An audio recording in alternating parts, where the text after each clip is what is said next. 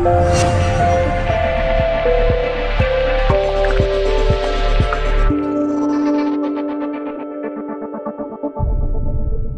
hey, hey, lovelies. It's Danielle Boose from Danielle Boose Coaching and Consulting, and this is video number two.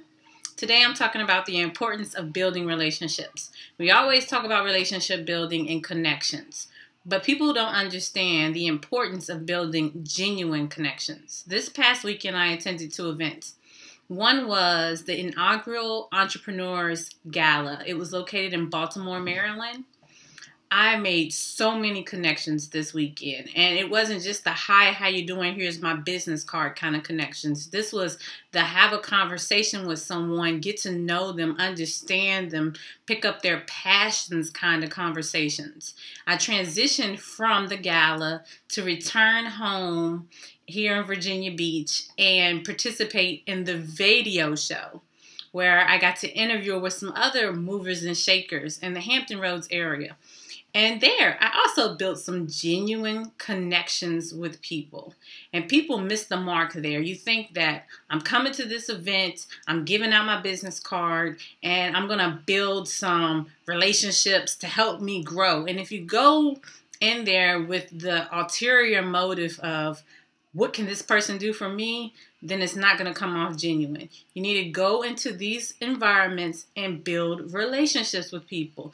Not what can I get from them? Can they buy my product? Can they buy my service from me? No, get to know these people, network with them because it makes a world of difference, especially if you're in a business. You never know what kind of connections you're making and who these people know. And when they get to know you, like you, and trust you, then they may recommend you or your product to someone. So today's video, I really want to highlight the importance of building genuine connections with people.